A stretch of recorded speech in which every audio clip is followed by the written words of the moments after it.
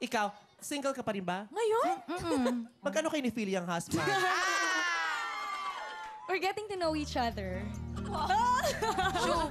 Pero siya yung tipo ng lalaking ma- nakikita mong magiging boyfriend mo. Oo naman. Taray ni Bombs, taray, Phil yung husband.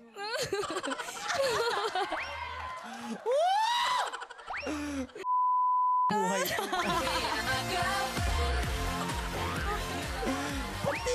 experience yang mga ganyan.